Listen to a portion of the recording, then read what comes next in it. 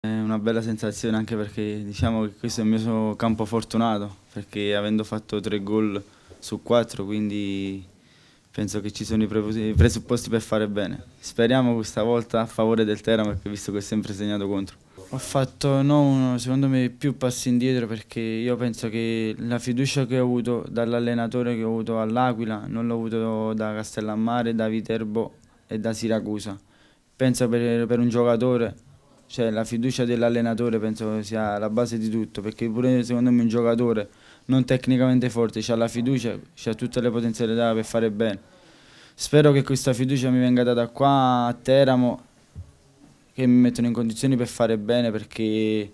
se io, almeno parlo io caratterialmente io, se so che il mister ha fiducia in me, la società è uguale, io ho tutte le, le potenzialità per fare bene.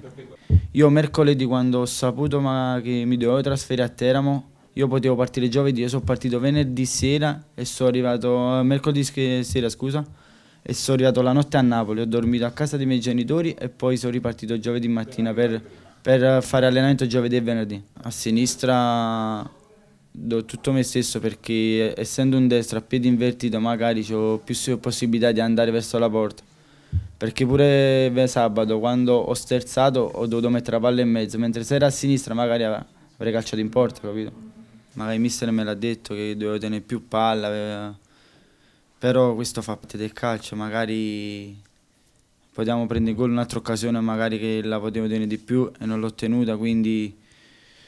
ora dobbiamo pensare a Pordenone perché ormai Ravenna è passato, perché gli errori fanno parte del calcio, però l'importante è subito ripartire perché sabato abbiamo un'altra partita importante contro un'ottima squadra.